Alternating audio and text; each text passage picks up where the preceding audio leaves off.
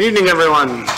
Welcome to beautiful downtown Grand Forks. This is Grand Forks City Council's Committee of the Whole for Monday, April 11th. Under item one, call to order, 1.1, welcome and roll call. Weigel. Dachtler. Here. Weber. Here. Mock. Here. Kvamme. Here. Sande. Here. Vein. Here. We have a quorum. Great. Under item two, discussion items. Yep, Ms. Mock? Um, I guess just to address the elephant in the room, um, are we going to discuss the petition at all, or would that take a motion to suspend the agenda? Thank you, Ms. Mock. Mr. Gaustad? Well, I, I'm not sure what, are you asking to add something to the agenda or? Well, I don't believe it's on the agenda as a listed item, but I think we probably have people with questions about it, or expecting some level of discussion.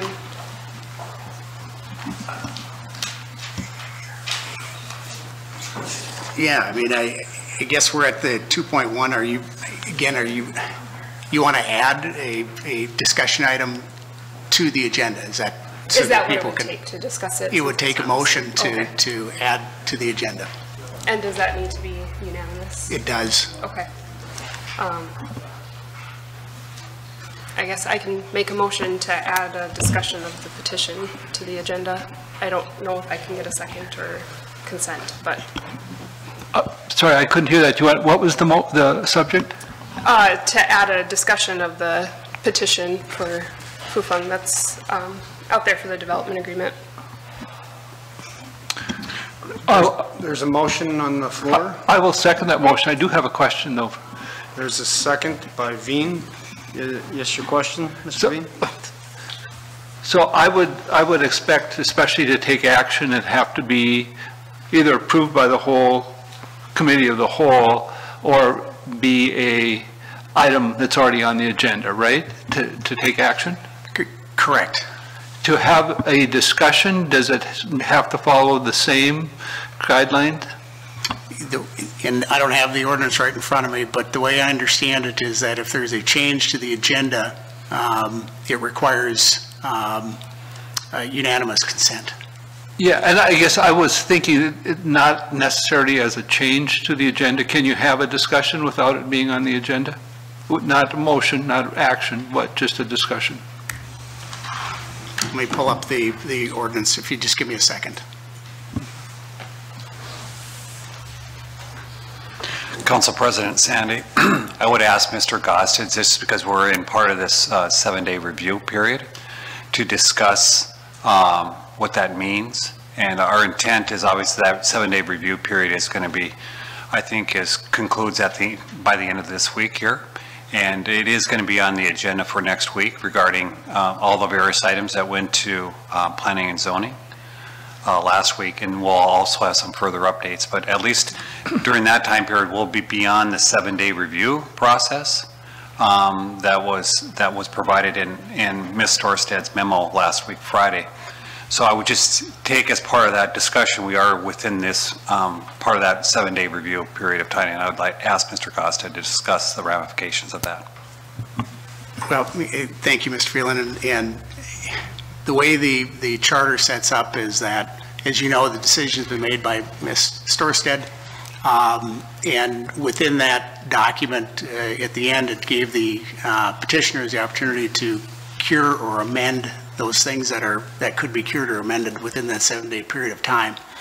Um, I don't know what the, what the petitioners are, are doing or not doing at this period, at this time. Um, It could, you know, depending on what the discussion is, there could be uh, uh, ramifications as to how they may proceed or how they may not proceed as a result of that discussion. Um, So there is that concern as well, is engaging in, the- in the discussion in this in- interim period of time could uh, sway things one way or the other, uh, rightfully or wrongfully. And so it, it may be best to allow this seven-day period of time to expire and have the discussion, if you're going to have the discussion, after that period has expired, and, and so that the totality of that review period is, is done um, and, and the matter will be more solidified as to uh, what happens going forward.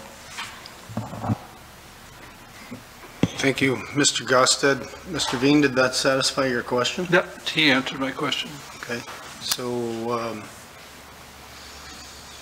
I guess ultimate- ultimately to refer to amend the agenda, um, just so I can summarize here. To amend the agenda, we have to vote, and it has to be unanimous. Unanimous. And then um, our city attorney is suggesting that because we're still in the seven-day remedy window, um, our discussion tonight could possibly affect what the petitioners are doing, uh, one way or the other. Um, And I guess at some point, I don't know if that puts us in, in a difficult, a a different difficult spot. Yes, think- Mr. Gaustad? I think it does, uh, either way, whether it's a positive comment or a negative comment. Um, We're within the period of time where the correction or amendment could occur, um, and it could influence what happens during the seven period of period of time, the seven-day period of time. Okay, Um, anyone else? Mr. Weber? Yes, uh, so I, I'm generally always in favor of, of discussion and, and, and uh, transparency of that sort. Of course, this is a legal matter, so I'm also inclined to follow the advice of our city attorney. Uh, I would put it back to uh, Vice President Mock in relation to her motion. Um, eh, having heard from Mr. Gaustad and, and, and President Sande, can, can you clarify the uh, intention of your motion? Um, or do you want your motion to stand? Can you give us a little more information based on what we've heard in the last couple of minutes here? Um, Thank you, Mr. Weber. Um, I guess I received a number of calls and emails, and I think um, members of the public are concerned, and I guess with um, the primary election being here, I thought it was prudent to maybe have this discussion now that we know the outcome of that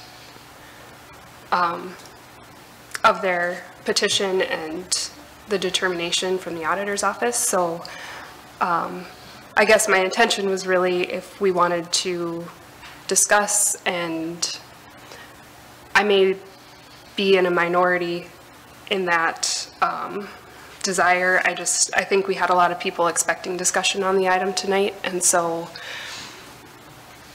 I felt like I needed to at least express that.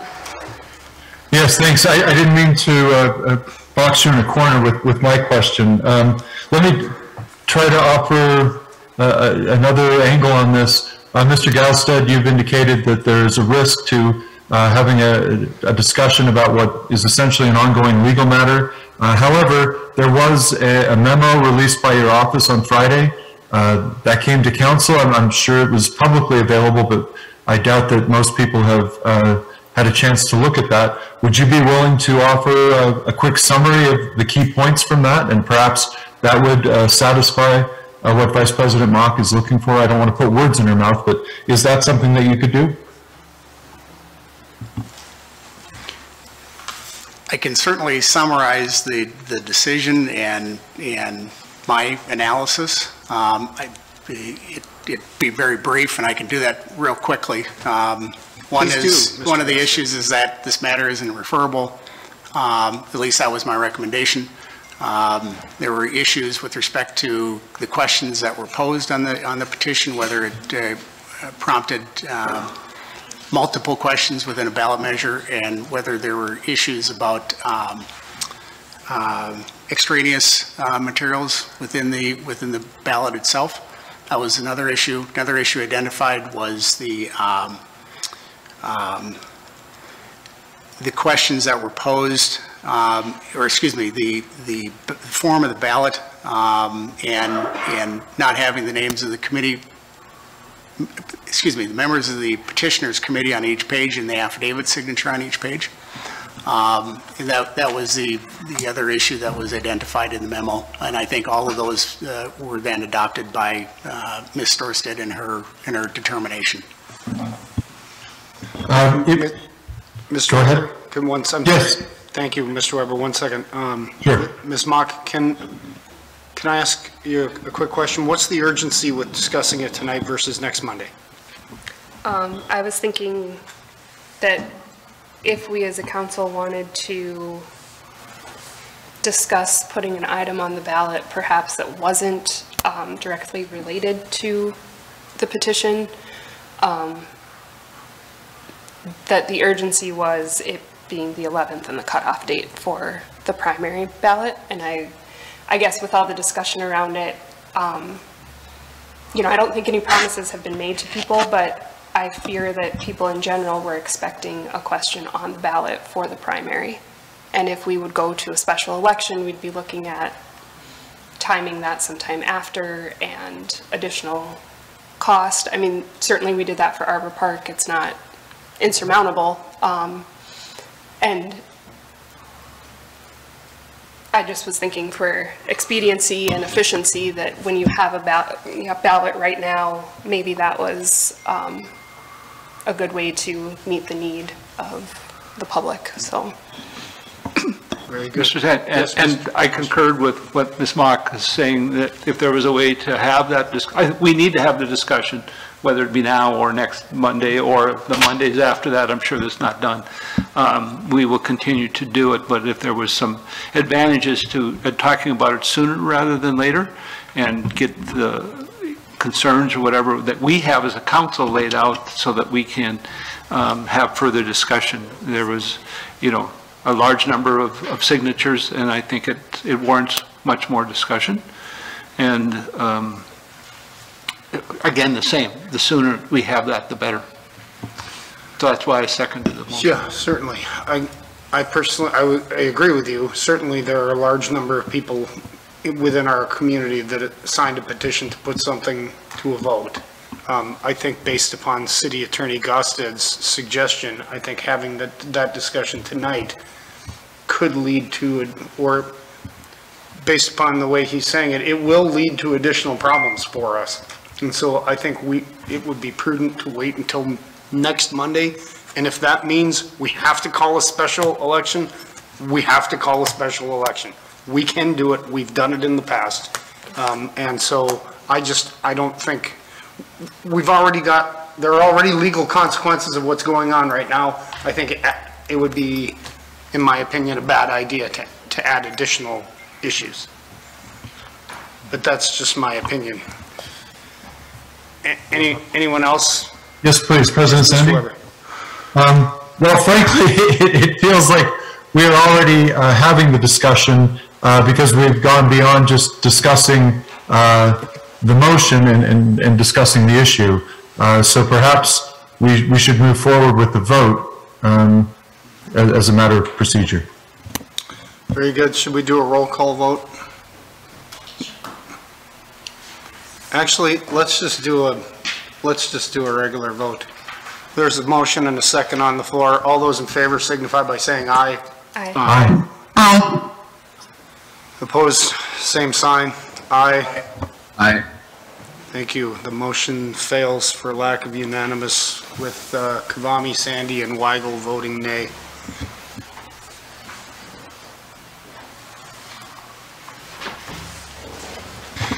Thank you, uh, everyone, for the discussion. Under discussion items, item 2.1, review requests related to special events, A, Sertoma Fourth of July commingling request and letter of intent, and B, Greenway Takeover Fest commingling request and letter of intent.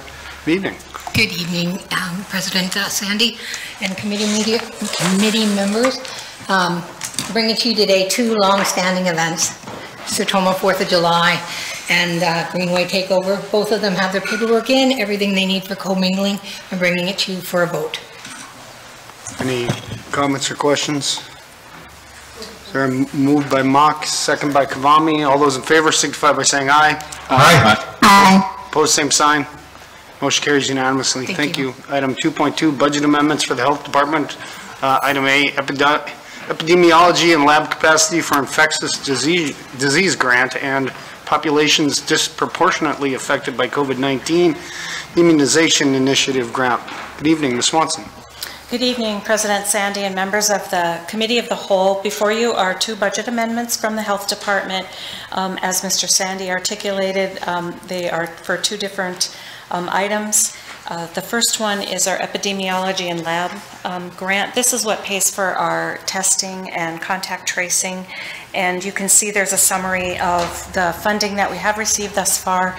It's simply aligning our budget years. We've received this funding from state resources and it's on a different fiscal year. And so we're bringing money forward into this fiscal year with an estimation of what we will need. The budget amendment is attached and the actual grant award is attached as well. Do you want me to go through the second one as well? Any comments or questions? Is there a motion to approve both? Move I'll move approval. Moved by Weber, second by Mock. All those in favor signify by saying aye. Aye. Opposed, same sign. Motion carries unanimously. Yes, Ms. Swanson? On both? On both of them, Thank you yes, very ma'am. much. Thank you. Item 2.3, light pillars for North Fourth Street. We're, uh, Ms. Richards, we're doing some more street renovations downtown. Correct. The request tonight is to ensure that we can continue our streetscape design for the reconstruction of North Fourth Street, which is scheduled for um, this summer. Um, The staff report kind of walks through the process that selected Badman Designs for the initial um, batch that were installed on Demers this last construction season. Um, Eight more were commissioned for North Third Street, which would be installed this coming construction season, and then these, if approved, would be installed probably next summer, but as soon as possible after completion of the Fourth Street reconstruction. Um, The request would be for four at 44,000 apiece, which is about 10% more than the previous, but seems warranted in that this was the price originally um, requested when it was first designed back in 2019. And then the cost would be split, as in the past, between 4815 Street and, Street and Infrastructure has kind of carried the lion's share of this in the past, with um, Fund 2163 picking up the slack off that first batch. Um, This would be split 50/50 between 4815 and and 2163, coming out of some EDA restricted cash. Um, The staff report also includes the contract with Badman Designs, which is, the request would be to amend that to add four more. And I'm certainly happy to stand for any questions. Any questions or comments? Mr. Bean? Just a quick question, is there any issues with supply chain and being able to get the materials or products to get this made on timely? Um, Mr. Badman has kind of said that there have been some issues and prices have gone up, but he's confident that he can get what he needs in the time frame that he needs them. Great, Mr. Kvamme? Move approval. Moved by Kvamme, second by Vein. Any other comments? Hearing none, all those in favor signify by saying aye. Aye. Aye. Opposed, same sign. Motion carries unanimously, thank you. Item 2.4, plans and specs and revised engineering, engineers report for project 8407, 08, and 09, District 582, 353, and 583, sanitary sewer, water main, storm sewer for TK Industrial Park Development. Mr. Lieberman, good evening. Uh, Thank you. Good evening, President Sande and committee members. Uh, This project, uh, at the request of the developer Contractors Leasing, uh, will develop South 50th Street. Uh, This is south of Demers and west of the interstate. Uh, The project before you is the public portion of this. It's a re- reminder, a combination public and uh, private investment. But this uh, entails the public investment of sewer, water main, and storm sewer along South 50th Street. Uh, This previously was brought before uh, the council in February, where a special assessment district was created, and uh, the council approved a task order agreement with Widseth of Grand Forks to perform design and construction services. Um, Since, since that meeting, um, we have held a public input meeting, received inputs from two of the neighboring properties, just general questions about uh, how they would benefit from this project, uh, not necessarily in opposition to it. Uh, We've also worked with Widseth in finalizing the design of this project, and uh, engineering department has reviewed those plans and specifications and concurs with them, and tonight we recommend those uh, for approval by uh, the council. Uh, During the planning uh, and design of this project, there were updates to the planning estimate, the or the estimated cost of the project. Some of those changes were somewhat substantial, so we are presenting uh, updated engineers' reports along with the staff report uh, to address that as well. Um, With that, um, I'll open it up for any questions. Any questions for Mr. Lieberman regarding item 2.4? Mr. V? So you, you have updated, you said, the, the cost estimates. um, That's correct. And you reviewed those and feel the, the new ones are, are good? We, we do. Okay, thank you. Move, move. Great. Moved by Vein. Is there a second out there anywhere? Second by Mock. Any other comments? Hearing none. All those in favor signify by saying aye. Aye. Aye. Opposed, same sign. Motion carries unanimously. Thank you. Item 2.5, plans and specs for Project 8472 West Elementary redevelopment. Mr. Lieberman. Uh, Thank you. This uh, project uh, is in support of Oxford, Oxford 2, the developer uh, who under a PUD will be redeveloping uh, the West Elementary School site, former West Ele- Elementary School site uh, near 6th Avenue North and North 25th Street. Um, They, they will be uh, constructing about a dozen single-family homes, and that construction entails uh, sanitary, water main, and storm sewer improvements in the right-of-way. Uh, The developer is proposing to privately fund those improvements and turn them over to the city for operations and maintenance. Uh, The city has reviewed their design, and we concur with their design of the public improvements. Uh, So tonight, we are recommending approval of the plans and specifications. Any questions regarding 2.5? Mr. Kvamme moves approval. Is there a second? I would second, but I do have just a question which Mr. Lieberman probably won't be able to answer, so I apologize. No problem. Second by Dachtler. Go ahead, Ms. Dachtler. So I think that this needs to move ahead in order for them to do anything. We're going to need to approve this. Um, However, I do have some concerns, again, with whether or not any of these houses, while they are going to be single-family built, whether they're going to actually be available to people within the community for sale.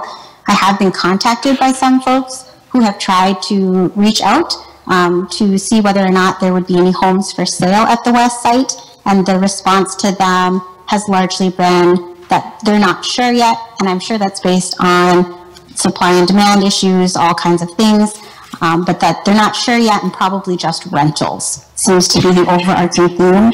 And I do want to say that I find that very frustrating, given about why this was kind of moved forward, that even perhaps there would be a mix of rental versus single-family owned, um, and that the developer would be more than willing to work with folks that were interested in buying those new houses. Um, Again, the Ward 2 community, I think, would benefit from being able to have new builds available to single-family home buyers and not just renters in that area. So with that said, I'm happy to second the motion. Thank you, Ms. Dachtler. Any other comments or questions? Hearing none, all those in favor signify by saying aye.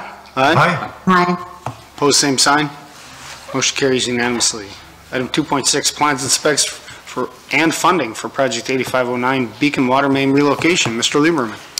Thank you again. Uh, This is our third project tonight that engineering is presenting um, in support of developer initiatives in Grand Forks. Uh, This one is in support of the Beacon PUD. Uh, th- This site's at the former Townhouse Hotel uh, site where uh, Epic Companies will be, has demolished that and will be be building three seven-story um, apartment uh, mixed-use facilities. Um, In the uh, design of the second facility, the um, design agent identified a conflict between the footings of the second facility and a 16-inch water main. Uh, Engineering department previously presented that to council uh, as far as uh, seeking authorization to proceed with uh, plans and specifications and do an advanced purchase of materials. Some of these materials are uh, honestly in a little bit short supply and, and high demand right now, so we wanted to ensure that this work could be completed this summer. Uh, We have uh, worked with uh, and Associates, the design agent, and um, have finalized the design plans for this project, and we we concur and recommend approval of their plans and specifications.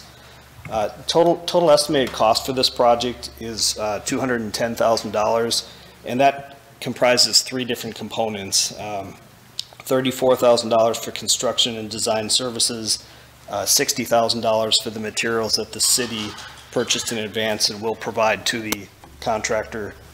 And and then $116,000 for the contract, which we're recommending approval of plans and specifications for tonight. Um, These are, these funds are all coming, uh, fr- scheduled to come from 5300 Waterworks. Uh, There is no special assessment with this. And uh, of note, the developer has offered a $15,000 cost share as they recommend it's, that this solution is uh, in everyone's uh, best interest. So with that, we're recommending uh, approval of plans and specifications tonight. Thank you, Mr. Lieberman. Mr. Kvamme? So in our developers, uh, development agreement with them, it states that should this conflict arise, the city's responsible. Is that correct? Is that why we're, we're covering the cost of this? I, I- think the, um, the- the facts are we have about a 55-year-old water main that is um, within a few feet of a, a foundation of a facility. Whether it is um, permissible for the encroachment into that utility easement or not, it would present problems for the city to repair a break in the future. It'd be costly and difficult to repair it.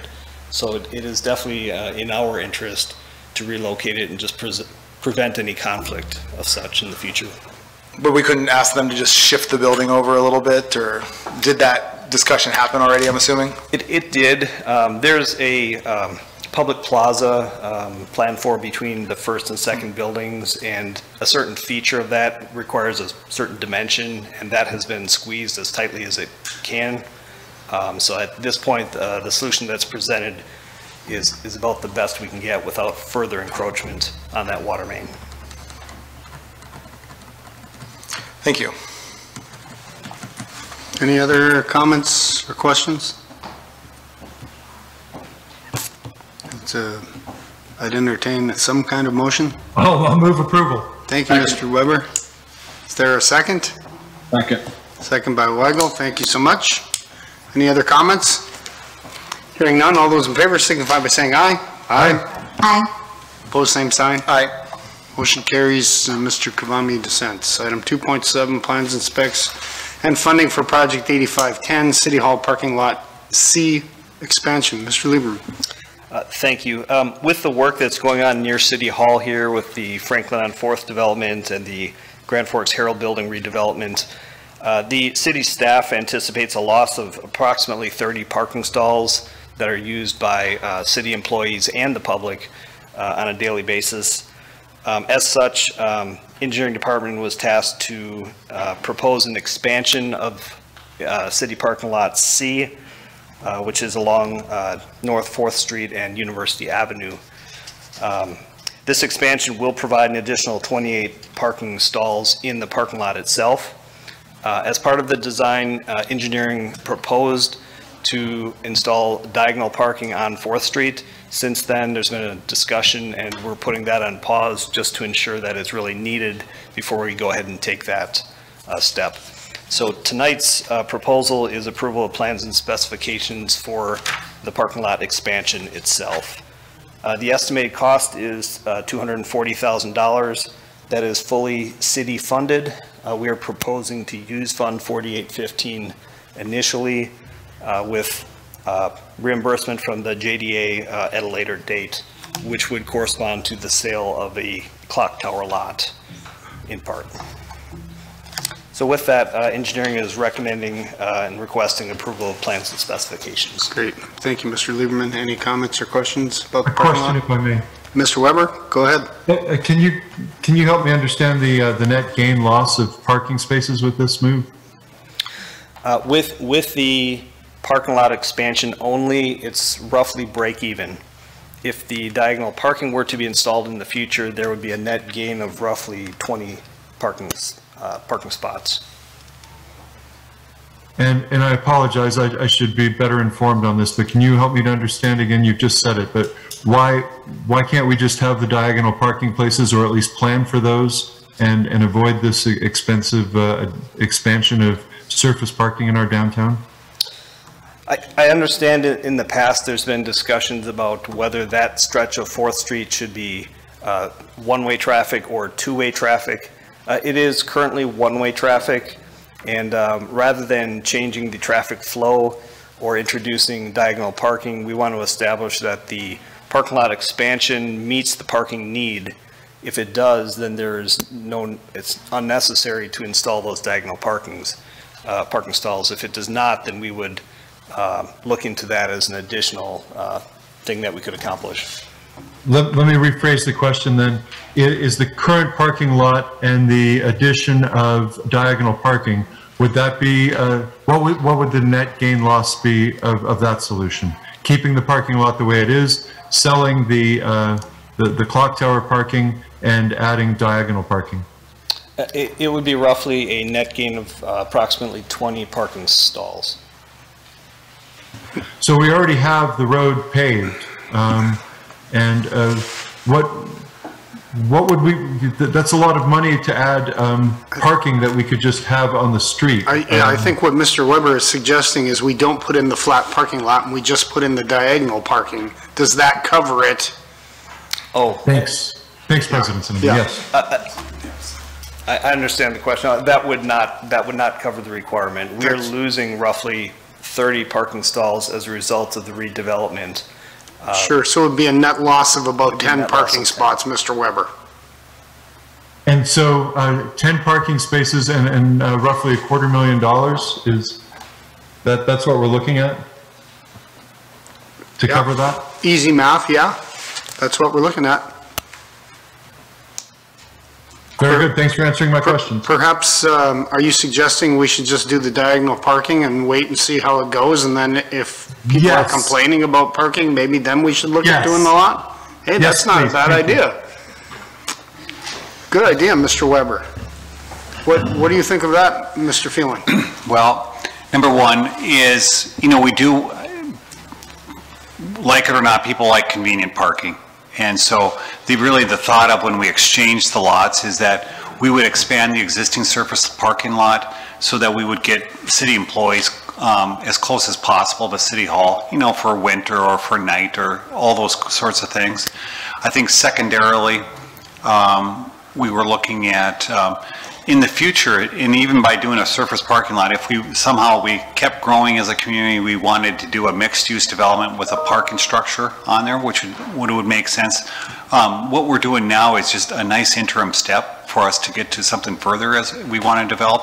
And I think it's really a, it's a positive for city employees that are going to give up some parking. That was always the downside of, of um, providing the Herald lot as part of the development, let's try to substitute it with something that's relatively close, not as close, but it relatively as close. I will also say, Council President Sande, I have been in, Tom Falk, the county commission chair, has reached out to me, and they are, that, the- the- we'll call it the clock tower adjacent lot. They are interested in negotiating with the city, because they would like that as part of their future expansion. And so before, before we, um, the JDA or some redevelop it, they, they would like a conversation with the, with the Jobs Development Authority that I think is under the ownership, and, and make sure that they get probably first tabs at that, just because that's a really strategic lot for their future development in that area. Um, President Sande? Yes, Mr. Weber? If I may, um, I I don't mean to be insensitive to the uh, convenience or the safety of uh, a city staff in any way, but uh, we do have a situation where I believe we have well over 4,000 parking spaces downtown, and uh, during the day, we uh, generally have, uh, uh, the the vacancy rate on those spaces is is quite high. We we have underutilized uh, parking downtown, and it seems that there's a great deal of parking. So that that's enough discussion from me. Thanks. Thank you, Mr. Weber. Mr. Vein? Um, I think it's not a matter of if, but when we will need the parking spaces. Um, Costs seem to never go down, they only go up typically. Um, During construction, especially when they're looking at the other lot, I think the property could be used. Um, And I just think it's, I don't know, I guess I'd like to support what the staff is presenting and, and be in favor of moving forward with it. Thank you, Mr. Vein. Mr. Kvamme? Is that, is that a motion? I don't know, was that a motion? That was. That was a motion, okay, moved and second by Kvamme. Further discussion? Ms. Mock? What was your proposal that you had put out there? Um, I had suggested perhaps we just do the diagonal parking first and then wait and see how it goes. But I, I do understand Mr. Vein's comment is certainly true that prices don't go down. And if we do think it's inevitable, which city staff seems to believe so, we're probably just better off doing it all right now. Any other comments? For the good of the order, yes, Ms. Mock? Um, Mr. Feland, the idea that you had mentioned the mixed use, uh, I mean, we would be a ways away from that. You imagine that if something like that were to come forward, I don't know, there would be a proposal made and underground parking, but we're not there quite yet. Is that your thought? Council President Sande, Council Vice President Mock. Yeah, I don't think we're at there, but I think once that, um, the Lions Project, I know it's got a different name now, but I think once that gets further developed, I think it's going to open people's eyes for other opportunities, and that next really great opportunity is probably the one north. The city's going to own the lot, so uh, we'll be able to facilitate something um, really good, still preserving our parking, but maybe add some further value to that, to that spot. But in the meantime, I'm thinking that's five, 10 years out from, from today. Thank you, Ms. Mock. Thank you, Mr. Feland. Any other comments, questions? Hearing none, all those in favor signify by saying aye. Aye. Aye. Pose same sign. Aye. Motion carries. Mr. Weber dissents. Thank you. 2.8, plans and specs for, and funding for Project 8515 sanitary sewer cleaning in easements. Mr. Lieberman. Uh, Thank you again. This project is in support of our Public Works Water Department. Um, Periodically, there's a need to uh, clean uh, through via jetter truck and televise our sanitary sewer mains, specifically mains that are located in backyard easements or side yard easements uh, where Public Works equipment is just simply too large to get in there. So this was last done in 2013, and there's roughly five to six miles of pipe that are cleaned and televised through this effort. So um, engineering has put together plans and specifications and a, a cost estimate of roughly $95,000 uh, to be paid for from Fund 5200 water, uh, wastewater collection system.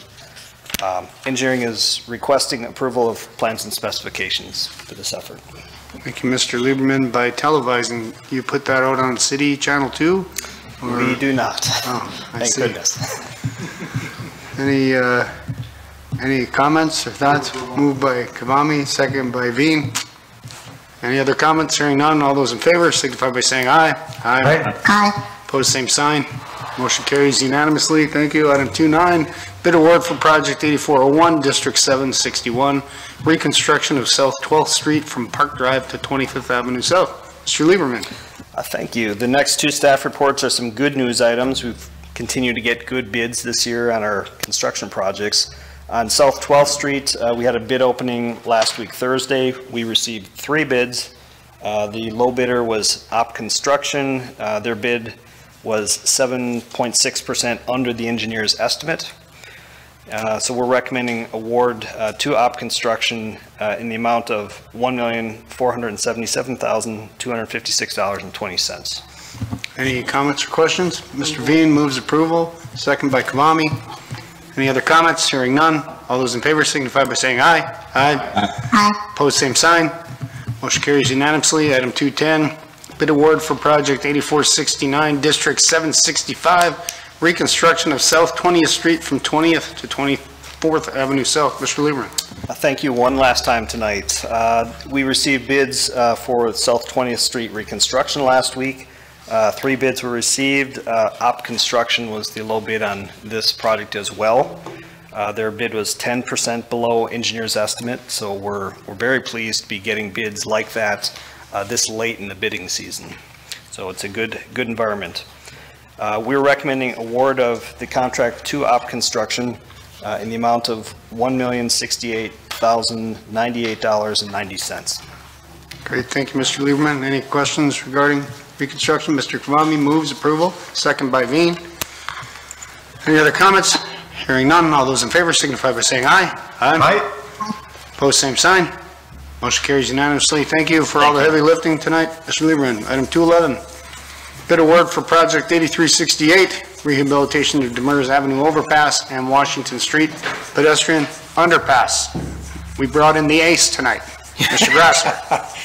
Thank you, President Sande. Um, I just want to acknowledge also, uh, thank Ed for all the heavy lifting on the, on the items ahead here. Um, You know, he could have done one more, but, no, just kidding. Thank you. Uh, If you remember this one, uh, uh, it's been before this uh, body before a couple of times. This is one of those federal projects that it comes to you multiple times and you don't see it, uh, you know, for three months or six months in between, uh, you know, your last actions. But uh, this is one of those that we asked for federal dollars uh, for. Uh, It's on the regional system. Uh, it- And there's two different locations. Um, The the DOT is the lead on this thing. Uh, The one location is, is the, the Skyway here, uh, Demers Avenue Skyway. There's some repairs that need to be done there, um, some spalling on the deck and, the- and the, the, kind of the side rails. You see the concrete there, abutments on the, on, on, on on the edges. Then also uh, down underneath on, on the pier uh, and some of the footings. So it's basically just some structural repairs that need to be done on, on these types of structures periodically.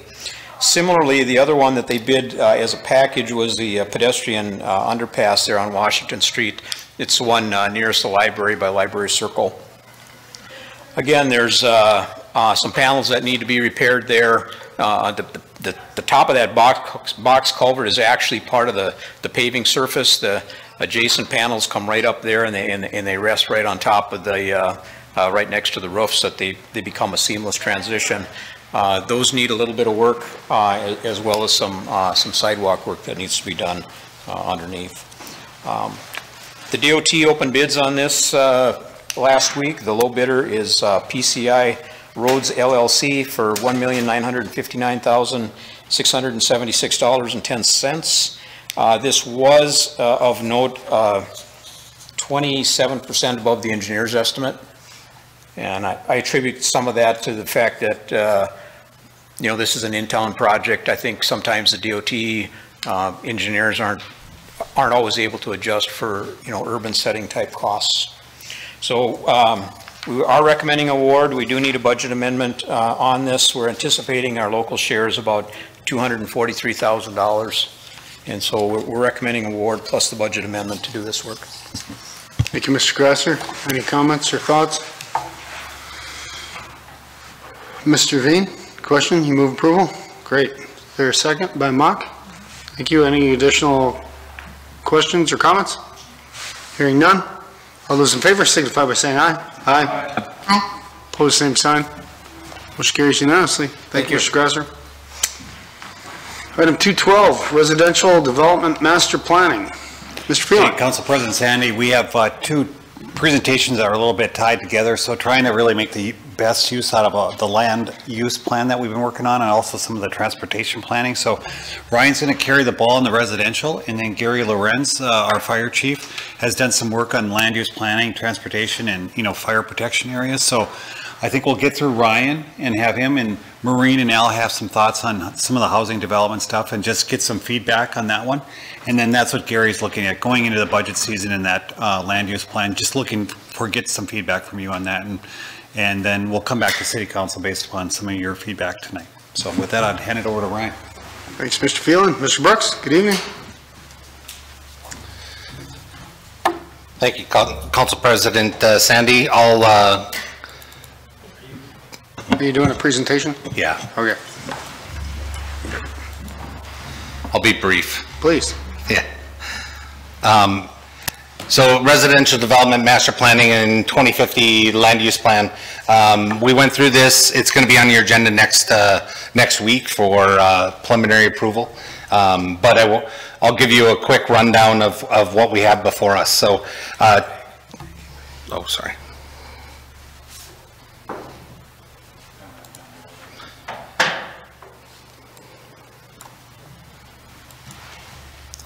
So the 2050 land use plan, um, these are kind of things that we look at in uh, planning out for the 30 years. It's uh, something that we update or have been updating about every five to 10 years. And um, uh, in the past, it, it also coincides with our transportation plan, uh, anticipates growth, trends, those types of things. So I won't read all those bullets, but they're there for your um, knowledge. Uh, The the categories that we look at, agricultural, uh, rural residential, urban residential, commercial, industrial, mixed use, public, and recreational open space. Uh, The areas that we have in our prior- priority growth area, uh, there's uh, nearly 6,800 developable acres. Uh, In the urban reserve, there's over 7,000, and rural reserve, there's nearly 27,000, as you start to get into our area that we look at. Population projections, out to 2050, we're looking at nearly 100,000 people. Uh, So as you start to think about things that we have to plan for, that's jobs and houses. And now we get into really the, the plan that we have.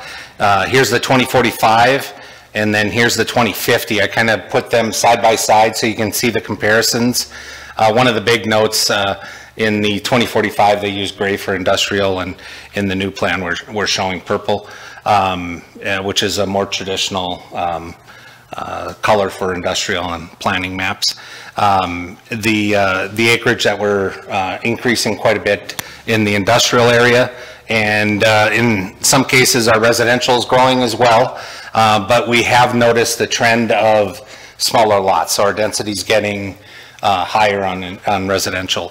Uh, And uh, some of the things that we looked at too with the plan were activation areas, so you're seeing a lot of infill too that we concentrated in, and the documents, uh, you can certainly take a look and, and find out a little bit more, but here's the land use categories, and this gets into a little bit of the acreage uh, that we have uh, for each area. As I said, we started getting into mixed use and started looking particularly at infill as we, as we looked at the, the option as we move forward, uh, taking particular attention to mall, uh, the Grand Cities Mall, Columbia Mall, some of the downtown areas as well. Uh, 32nd, trying to infill some of those areas. Uh, The, uh, as I said, April 6th, Planning and Zoning uh, gave preliminary approval, will be before you uh, next month. This is part of our comprehensive plan, which is part of Chapter 18 of our, of our code. Uh, Want to talk a little bit more about some of the new developments that we have going on, uh, just to show you some of, uh, that we're not just dealing with development on the edges, we're actually looking at internal things going on as well. I think we talked a little bit right before this about the uh, Lions development, that's Franklin on Fourth is the new name. Uh, The Beacon, you guys are approving uh, some things that the engineering's just brought before you. Olive Ann's another one, as, as you know, in the downtown. Um, So there's lots of things going on. We have Gateway Drive, we have some redevelopment, even with the Career Academy, uh, Impact Academy that's going on, and certainly the city was involved in on that as well. So I won't go through each of those, but this is kind of a layout. Uh, We'll talk a little bit more about the Grand Valley uh, coming up here as well. So as we start to look at uh, residential lots and what's available, this kind of delves into some of those areas, and I, I'll kind of orient uh, you to where we're at. Up on this northern map, here's Discovery School, here's Columbia Road as it cuts through. Uh, The yellow lots that you're seeing are still lots that are platted, but still need infrastructure. Uh, Here's Toby Lane in green here, and then to the north of that is another cul-de-sac that's been platted, and the infrastructure is just waiting to go in on that as well. Um, And then uh, south of Discovery, there's some areas there that are available for development. As you go down to the map that's uh, to the below, here's Kings Walk, uh, here's the Prairie development down here, and then uh, you have Shady Ridge uh, to the, to the east here. Uh, Roughly 480 platted lots for single family. That's about three to four year supply, if you remember right, we're about 120 lots uh, per year that get um, uh, built on. And, um, and so as we start to get down to that number, there are always some folks that hold on to lots they aren't ready to build the next year after they buy. So some of the things that we're looking at. So I'll get into a little bit of the Grand Valley development. Uh, Phase one, uh, again, here's uh, North Wa, or South Washington here, here's 62nd Avenue South, and they'll be coming before us next month uh, for Phase one, I believe. And this is kind of that area in this general vicinity. It's, uh, this next one I'll show you a little bit of the layout. uh, 62nd now. North is uh, to the left here, 62nd Avenue. You can see the, the lots that they have uh, filled in here. Um, There's also obviously the pond, that's a requirement now with development, and then the parkland. These still need to be vetted, just so you know, it hasn't gone through planning and zoning. We're just kind of showing you uh, some of what they're working on. I think there's a lift station, I believe that's down here on lot 13 as well. So those are all parts of that development that need to occur. Getting into a little bit of the goals, um, and this uh, harkens back to 2016, uh, when we discussed special assessment deferrals. Um, Back at that time, we were looking at ways to our- increase our residential lot supply. And, you know, those are some of the solutions there that we looked at, adjusting special assessment time periods, 20 to 25 years. Uh, That was put in, permanent change, uh, decrease special assessment interest markups uh, from one and a half to one. That was put into ordinance, that was a permanent change that was done, uh, eliminated upfront bonding. That was expired in end of 2018. I know Al may have some thoughts on that as well. Deferred special assessments for projects.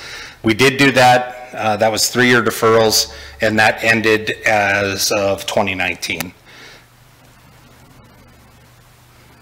Here's some of the lots, and this was at the end of 2018 that this map was done, but these are some of the lots that were assisted with that special assessment deferral. So again, you're in Discovery here, Kings Walk, here's the Prairie Development, Prairie Wood here, and then a little bit of Shady Ridge over in this area here.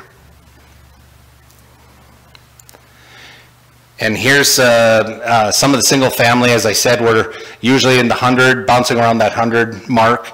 Uh, Townhomes, uh, those have gone, they're a little bit more, um, depending on what a market a developer's working on. We had a peak here in 2014 with just over 100, uh, but we've kind of slowly increased those townhomes as well. And then the platted lots have really been bounced, bounced around quite a bit, so that's what we're trying to show here. Getting into a little bit too, some of the major projects that we're working on, there's the 42nd grade separation um, piece that uh, we're working on. And this is kind of going to start to lead into some of the discussion that Gary's about to have with you. And I-29 interchange, as you guys know, we had a 47th is typically what it's referred to as, but some of the lines, alignments that we're looking at are, are down at 49th due to some of the requirements from the state in terms of spacing. Um, But uh, with that, I believe that's my last slide. Oh, no, one more here where we show the I-29 interchange. A little bit further back, uh, one thing I did want to point out, uh, we've, we've heard a lot maybe in the paper about the uh, Sanford uh, Health uh, purchase. It's 60, I'll say 60-plus acres and roughly in this area right here. It was recently showed up on the county file. So uh, with that, I'll kind of uh, turn this over, I believe, well, if, unless you have any questions for me. Any questions for Mr. Brooks about his brief presentation? Yes, Mr. Vein? Oh, I think there'll be a lot more to come, so a lot of great work, appreciate that. Just one, one thing, we didn't note the South End Bridge in any of this, and uh, I do know we have an issue as we expand into rural water.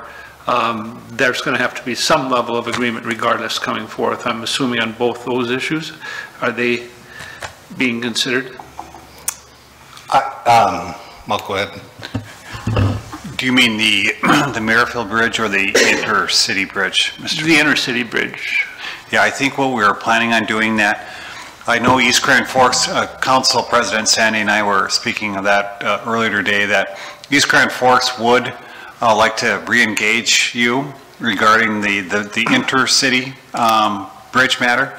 And I think right now at the MPO, I don't know if the, there was a formal motion, but it seems like the, I guess the highest ranked bridge is the 32nd Avenue South.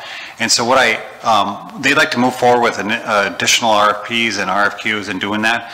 What I've um, sought some uh, insights is that let's bring that back to city council um, at some point where we, um, Stephanie Halford is the new MPO executive director. I don't think she's planning to be in place until May.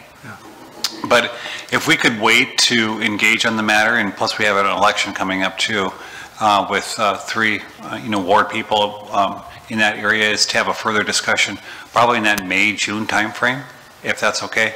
And the other thing I really wanted is the MPO executive uh, group to provide a briefing about, you know, we we conducted some studies, here are the rankings, and we haven't had that opportunity just because we've been in flux uh, at the MPO side. But uh, if you want it sooner rather than later, that's what I was thinking on that. Of all the ramifications, they would like to partner with you. They'd like to do some further studies. And as part of those further studies, I'm sure they're going to want to have a 50/50 cost share with you as the city of Grand Forks. Yeah, I, I think that's great. I think we just want to make sure it's moving forward. You know, it's been through the MPO, we've done the studies. City council has already taken a position on that. But I think um, there's more to come, I would Yeah. guess, that, I- because I- there's a long road to get something like that implemented. There is, and we got so many, uh, well, we got a lot of big balls in the air uh, right now, but uh, I certainly, uh, if this council wanted to bring it sooner, because the city council of Grand Forks hasn't seen the briefing from the the MPO, you know, all the studies that have gone on and all, of that's, that's been absent. I certainly could put it on a future city council meeting under presentation, so people can get an update, at least kind of where we're at, and set some direction. And I know there was a consultant that was hired, and, and I didn't follow a lot of that committee process, and, and obviously Ken and, and Jeannie, you're our, our representatives on there. And so however best, I, all I'm saying is, uh, East Grand Forks wants an answer, hey, we'd like to reengage, and what I've, I've said to them is that, um, we've got all these kind of transitions going on right now, I don't know when best is to reengage, I know we need to do it sooner rather than later, but I want to make, get it back to you at the right time. Sure. Thanks. Any other questions for Mr. Brooks? Thank you, Mr. Brooks. Appreciate it. Ms. Storstad? Yes, Good evening. thank you. I'm going to go back to Mr. Brooks' previous slide here. So back um, when some of these actions were taken, just um, a little bit of review of what our office did to try to best communicate the changes that had been um, made to the special assessment program. Um, When we did the deferrals, um, we did hold a meeting with all realtors, uh, try to get the word out as best as we could, have spreadsheets available for uh, those properties involved um, with those deferred special assessments, try to communicate information so it got down to the property owner. Uh, And we did file with the county um, with all those um, properties uh, regarding future special assessments. So um, when title searches were done, um, there was uh, information attached with the property. Uh, Letters were sent out um, annually, uh, just with an update on the timing and, and the dollar amount of those specials. All along, um, interest does accrue, so um, uh, there was capitalized interest uh, involved. Uh, But we always offered the opportunity to prepay if they did not want to pay that um, increased interest. Um, I think we did uh, the best we could trying to communicate. There's always going to be a small percentage that are caught off guard, unfortunately, um, when property owners um, ultimately have to pay those special assessments. So that's some of the risk you take. Um, But I, I think uh, for the most part, that information got communicated the best it could. Um, Some of the takeaways, uh, I believe, based on this slide that I have up here, at the time, uh, we, we did decrease the special assessment interest markup that covers the city's risk. Uh, We thought we could take it down from one and a half percent to one percent. And looking at that, I think we could go one step further and look at a half percent, and then uh, five years down the road, maybe we reanalyze that and, and see if that was an appropriate move. So if council has an interest in that, we can take a look at that policy. Uh, And also uh, with uh, the, the, uh, right now, you've got uh, markup for miscellaneous, finance, engineering, uh, carrying costs. I believe with that miscellaneous 4%, we could take a look at reducing that down to 2% um, to cover our costs. And then like with the, as with the markup, we can just reanalyze that. It's been five years, we can look at it again in in another five years to make sure we're covering our costs on that. So just a couple of things if, if council wants to take a look at moving those items forward. Um, The other thing um, with your flood protection specials, we could uh, entertain looking at a three to five year uh, special assessment deferral, uh, if that would help um, development. So with that, I'm going to turn it over to Al if he has additional thoughts. Could, could could we ask a question? Yeah, Mr. Vein, please. Just, just real, real quick, like, in, in these recommendations that you're talking about, some of the decreases, could you just, when you put the numbers together, let us know how much that averages per lot? or what those impacts might be. I actually thought with interest rates going up, you might be saying they'd go the other direction versus going down, right. and, and, and there's a cost that's involved in that, so that's, I was just wondering about that.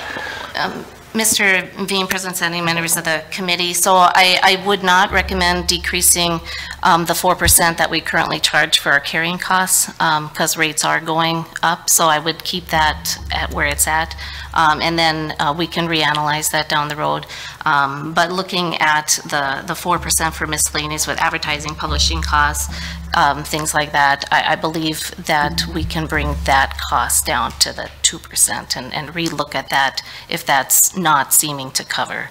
Um, But rates are going the other way. I, I want to make sure we, we uh, don't take too much risk on, but I think it's something that we can take a look at and reanalyze down the road, make sure we're covering our costs. Can I, can I ask a general question? We're, we're talking about incentivizing development. Are, is there a concern with city administration that there aren't enough lots currently available for sale? I, I haven't heard that part of the story yet, I I guess. think, I think we're concerned, you know, when you look at that three-year period of time, we know that infrastructure takes at least two years. And so when you, well, I think when we are approaching three years, we're really at, we're getting to the edge of, if we don't start doing, so we don't want to come back to you in two years from now and what we're going to say is that we're, we're going to be too short and we don't have enough time to do it. So that's why we're talking right now is this infrastructure now, it's going to take at least two years before you're building on any of these uh, lots that we may start building even this year. If, if uh, if I could, uh, just comment on that. Um, You know, from, from an engineering perspective, you know, after the 97 flood, we invested a lot of dollars and CDBG dollars and other dollars that went into basically setting up some of the trunk infrastructures of the areas, uh, primarily south of town, uh, water mains and lift stations and things like that. Um, a lot of the work that we've actually done since that time, because the lift stations were there and, and the, the trunk water, a lot of that was almost like a quasi infill, and I'm not using the term in the same way a lot of people might, but it, they were areas that we had to, we had to address the new regu, new regulations, this goes back a ways, on, on stormwater ponds, so that, that kind of was one of the newer trunk pieces that had to, had to be addressed. But otherwise, we, we kind of were, were, um, uh, a lot of the things were set up to, to take us all the way down to 62nd Avenue South, you know, the, the golf course in that area, uh, and, and, and areas east and, and even somewhat west. Um, Those areas then, from a time perspective, because you got most of that real, the heavy-duty trunk in, only probably takes a year or so to be able to turn that area into, you know, where, where you can start uh, putting in your subdivision level uh, infrastructure and start selling lots. And we're, and because that's been going on so long, I think we've kind of forgotten how long it takes to really bootstrap up a, a really new area uh, as we start crossing some of these boundaries. Um, But that's what we're talking about doing now. We're looking ahead and seeing that it, you know, it's, it's a two-year and two and three-year development process uh, to, to uh, initialize a new area. New in this case, I can use an example, would be south of 62nd Avenue South. We need a lift station, need to figure out the stormwater drainage, the stormwater holding ponds, staying in compliance with the Corps of Engineer requirements, all those kinds of things. Um, that process, we've actually jump-started a little bit. The council has given us approval to uh, design and bid uh, the, the, lift station. This would be the one on the, on the uh, west side of Washington. Uh, it's at the intersection, if you can think of where it is, uh, 20th Street and, and 60, uh, Ninth Avenue South, um, basically in the center of that section of land. Um, but uh, that's actually encompassed about three to four months worth of work already. So when we count my three-year time frame, we've accomplished maybe you know four to six months of that timeline already, just by the actions we've already taken. Uh, reminder to the City Council, we've also initiated in our strategic infrastructure growth areas, uh, the, the, area, if we, if we, go west of town, uh, south of Gateway Drive, uh, you know, we, we put, put a lift station out there, and we've done some water main extensions in that area. Uh, Generally, that, that undeveloped land, I'm going to say south and west of Walmart, in that, in that general area, uh, is, is, is, is- we've kind of set up some of the basic infrastructure there. We've also done uh, some south of 32nd Avenue. Uh, That's not really residential, so I'll kind of skip over that. But, you know, we, we've, we've been setting some of these areas, uh, areas up. Um, but again, it takes about two years or so from the time you, you kind of just take a bare area like that that doesn't have any trunk and get it to a point where you can start uh, delivering the subdivision area and uh, developing lots. So that's why we're, we're looking at that lead time uh, component and, and projecting out, and, and our, our supply lots are going to get to be pretty thin. Mr. Grasser, how come we haven't, uh, yeah, I think, I think ultimately, I guess I'd like to see your recommendations at the council meeting next week. I am morbidly curious why we spent a few million dollars putting in a pump station south of Walmart when not one single lot has been platted out there. And I know that's not your issue, that's our issue, right? We're the ones that approved that, and nothing has happened there. Well, if I could address that, though, the, the thing that we were trying to address at that point, uh, Steffes wanted to do some expansion. We didn't have enough sanitary sewer capacity.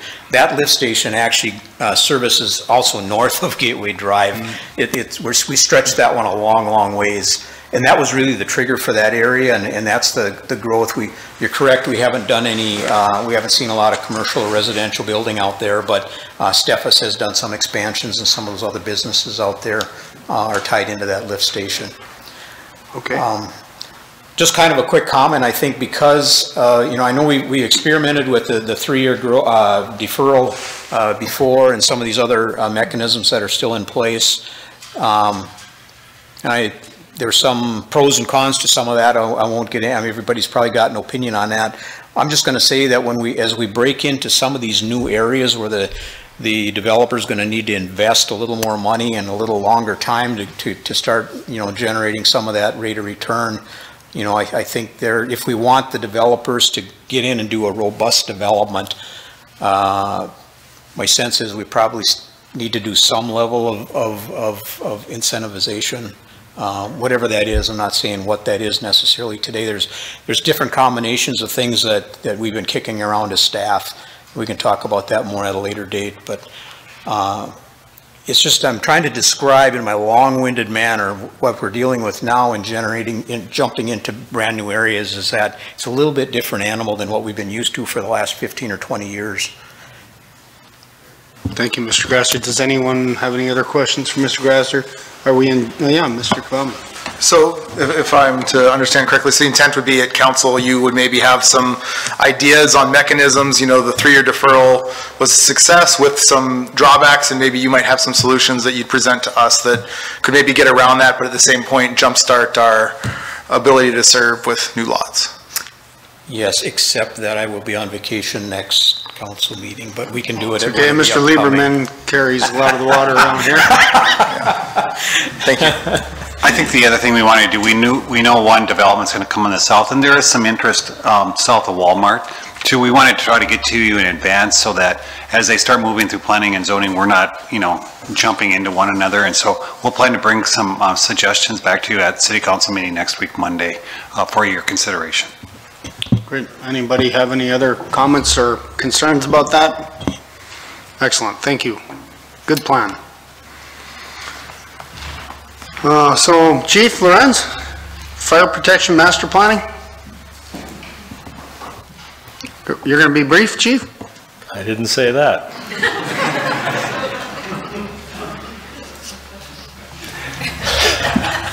Chief, is this, is this the plan I was supposed to come and meet you on, and I still haven't got there yet? It is, it is. So, you you know, you're still welcome though, anytime.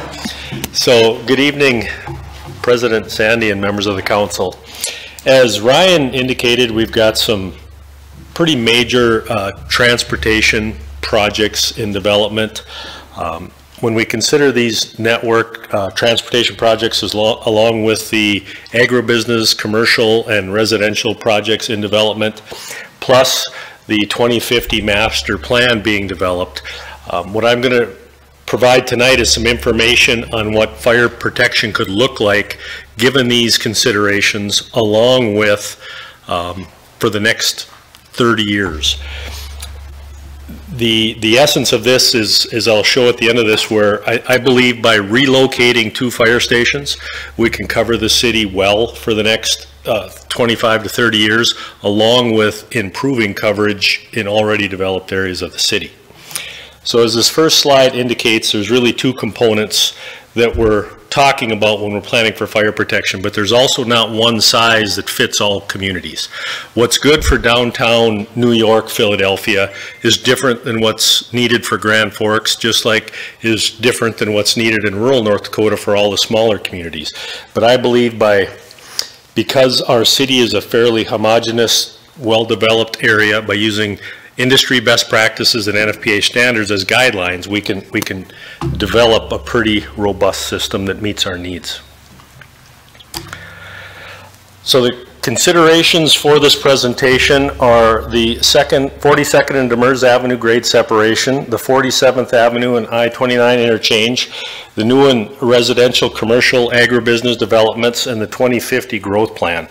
And then also one that I believe is important that we look at in the future is the I-29 17th Avenue overpass. I know it's not currently one of our plans, but if the opportunity ever presented itself, I believe there's merit in relooking at that. Uh, this presentation is going to focus primarily on fire station placement and how it impacts emergency vehicle response time.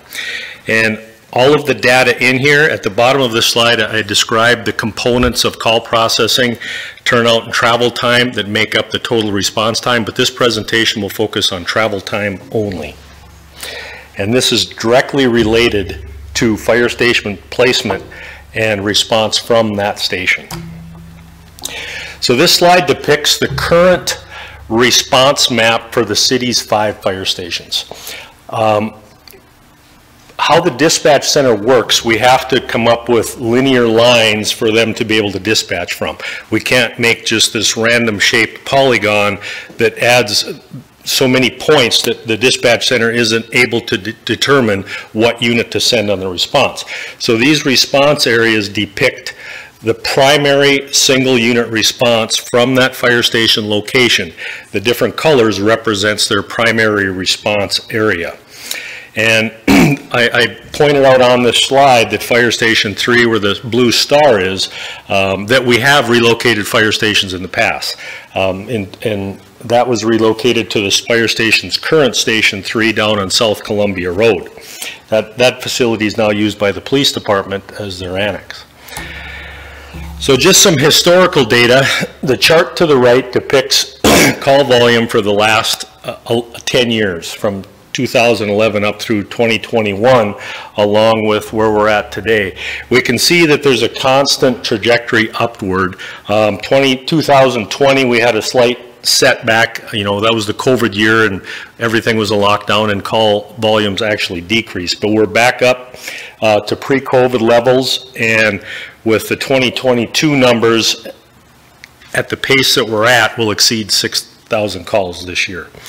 And then to the left shows a breakdown of 2021's call for service in some very broad categories. And you can see the largest of the categories in the orange make up the rescue and EMS calls. These are primarily single unit calls and they make up about 70% of our calls. And this has been the norm for, for the last several years about that number of call volume.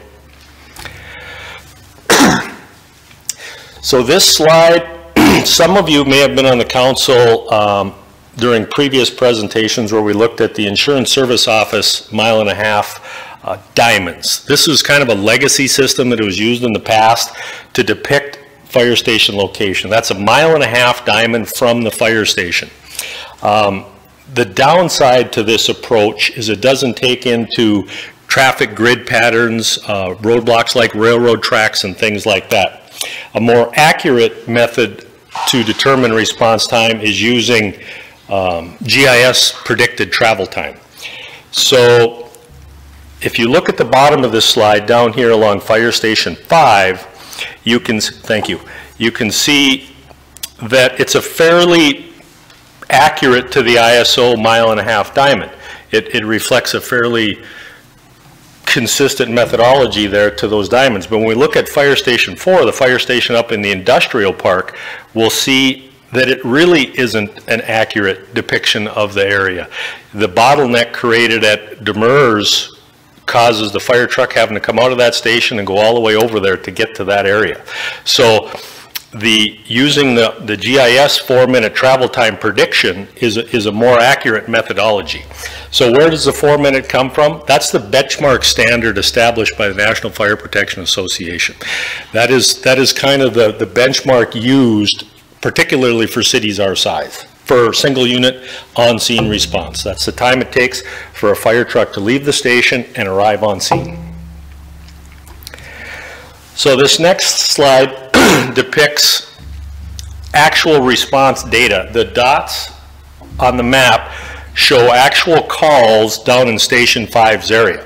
The green dot represents a response where the unit responded and arrived in four minutes and less travel time. The red dots represent travel time five minutes and less. And so that is when responding from their fire station, or not, excuse me, that, that is response into that area regardless of where they were. So if you look around the fire station, you see a few red dots, and you're going, well, that's awful close to the fire station. Why is there, why are they red dots? There's numerous reasons. They could have been responding from another call on the other side of their area. They could have been- out inspecting in their area. They could have been training out at the Public Safety Center and another unit was taking those calls. It could have been wintertime and there was road impacts and travel. And we have the human factor. Our company officers have to push a button on the MDC when they go en route and they arrive on scene. So if they happen to forget to push that button or they pushed a little late, remember the five minute, uh, the dots could have been four minutes and 10 seconds. So, but when you look at the, the green and the red here, it covers that area very well. So I believe this adds credibility to this methodology of using the four minute predicted drive time from that fire station location. And then at the bottom of the map here, we see our future residential developments that are being discussed. Uh, the red, orange line at the very bottom being Merrifield Road, showing that from Fire Station 5, I have a high de- degree of confidence that we should be able to cover those new developments with Fire Station 5's current location. Um, Over on the left, you'll see that approximately 90% of the Station 5's calls are reached in five minutes or less, and that is consistent with industry best practices. And as I said before, approximately 70% of all calls in the city are EMS in nature, which are primarily single-unit calls. So jumping up to our Station 4 location over in the industrial park, the red depicts the predicted four-minute drive time from that area, along with uh, about two and a half years' worth of calls citywide, each dot representing a call. The one dot that's different in here is the dark maroon dot down at the bottom. That represents a call greater than five minutes. This map also, I'm trying to depict the railroad tracks that impact response. The big one that we know of running east-west here, where 42nd and Demers is a significant factor because Station 4, to get up into this northwest portion of the city, can either cross the tracks over here or it has to go up Demers uh, over to 42nd Street. And when there's a train on there, that causes a delay, significant delay. And Station 2 then would respond from this area. So when you look at the dots here, our highest concentration of calls in the city that are greater than five minutes is this northwest portion.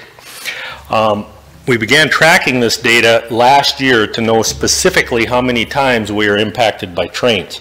Since September of 2021, we had 32 incidents citywide where we were impacted by train. To track that data, it requires the, the person filling out the incident report to actually check a box now that say they were delayed by train, meaning they had to find a different route or a different unit was sent. And 26 of those calls were north of Demers. So I am proposing uh, potentially relocating Fire Station 4, taking into consideration the 42nd Street and Demers over underpass. If you look at this map, I have placed this fire station along 13th Avenue and 42nd Street on, on a property. And then the blue area represents a predicted four-minute travel time from that proposed location. So we can see that from this location, we cover almost all of the predicted area of, of Station 4, because we can see that over here, it's, it's right up against the west edge of the city. It has to go east and north to get over to this area. There's no direct line. By having that over underpass, we now have unimpeded access underneath those railroad tracks and to this northwest area of the city. Um, When the Public Safety Center was built in 2008, it was an opportunity to add a fire station because we were in desperate need of a public safety center. The fire station was a great opportunity out there, and I think at the time, the, the thought was that the industrial park would grow faster than it has.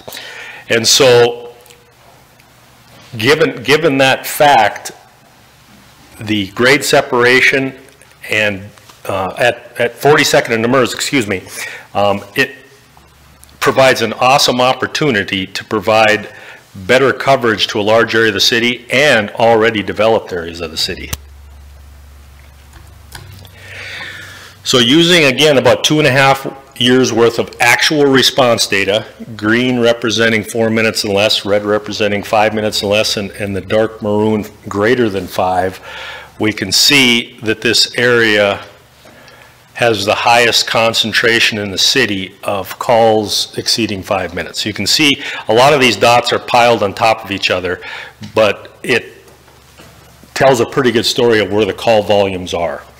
Um, and we know that the, the public safety center at night in particular, when there's not people out there, is when they have their slowest call volume, south of Demers, west of I-29.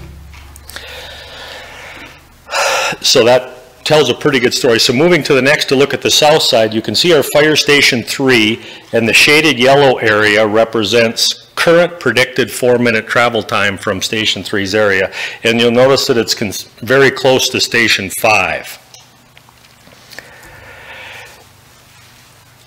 Taking into consideration the 47th and I-29 interchange that's being developed and proposed, um, I believe that by relocating Fire Station 3 down into that location, we could considerably cover the city in the south end with those developments along with the 2050 growth plan.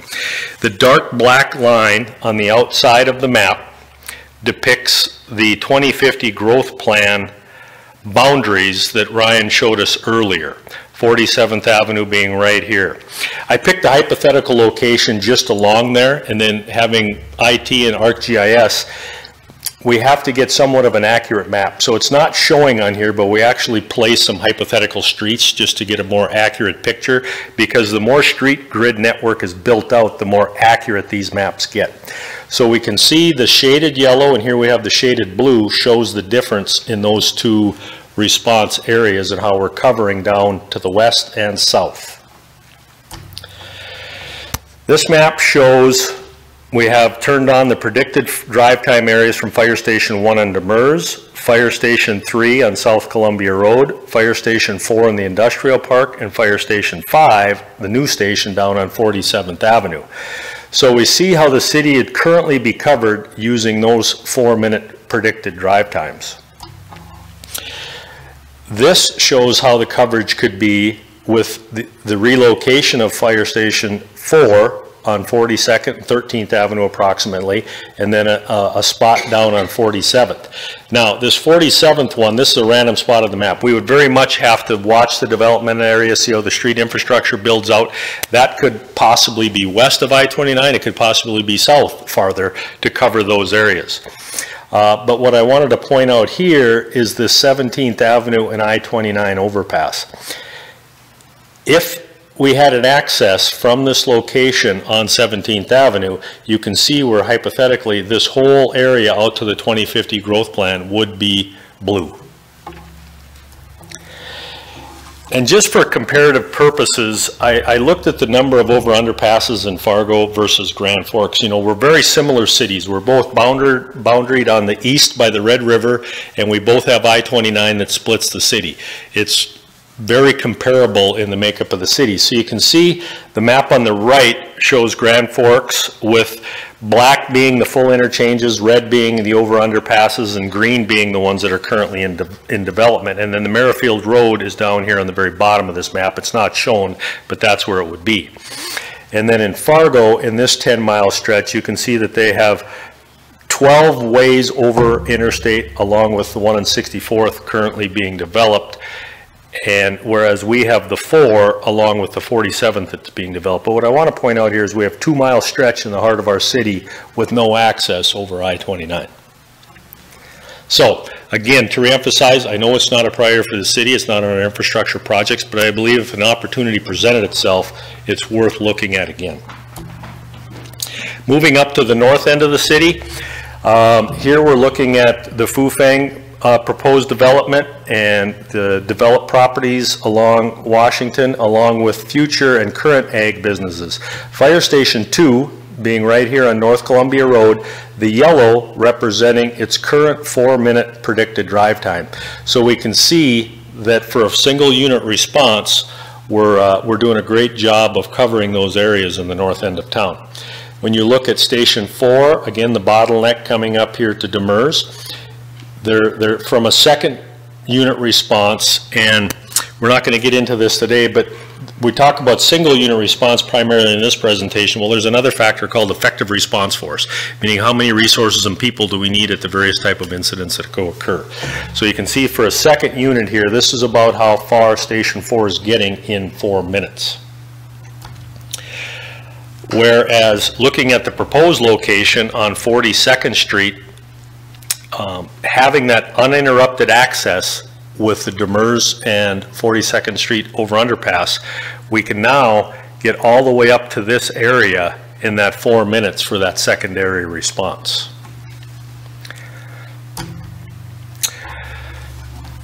So action items, if the opportunities present themselves, I think the, the priority would be to identify and acquire land for the relocation of Station 4 in the area of 42nd, 13th at least start to explore that. And then the uh, near and long term, the one to 10 year, are more of the watch and see. You know, we, we can acquire the land and, and possibly begin the, the construction of Fire Station 4 if the council so chooses to move that direction. And then monitor that growth in the southwest very closely. I think that's going to be farther down the road. As Ryan mentioned, we now have Sanford that it's announced they've bought 60 plus acres down along that area that could cause development to come pretty quickly, and then reconsider the evaluation of the 17th Avenue overpass if an opportunity presents itself. So that was a lot of information in a short amount of time. I uh, welcome any phone calls or, or, or reach out to me if you'd like to discuss any of this in more detail. And with that, I stand for questions. Questions for the chief? Yes, Mr. Vein? A couple quick questions. Um, is coverage time, um, we- the question that came to me is fire potential versus fire severity. I mean, are there certain types, we talk about moving somebody out of the industrial park as a fan, and of course, the type of fire you might have there, the severity would be different than you might have in a, in a residential area, right? Is, is, if you look at it, do you treat all of them the same? Um, Or do you look at that potential uh, where you- a larger fire might break out in your time to get to that? There's multiple components that. I don't have one short answer, but the short answer is yes. With our city and the type of staffing we have, we kind of treat them the same because NFPA actually sets standards for what your effective response force should be for the different type of facilities, and they're substantially different. But uh, I want to point out that the biggest thing we can do as a fire department in, especially in the industrial and commercial areas that you refer to, is make sure all the facilities are built to the most current codes. Most, all of the buildings in the industrial park are fully sprinklered. And a sprinkler system is designed to keep the fire in check until some, either in check or extinguished until crews get there to, to finish putting it out. And so when you look at most of our residential buildings, they're not sprinkler. And that's where our life safety concerns are. So yes, we treat them all the same, but yet it's kind of where our priority is.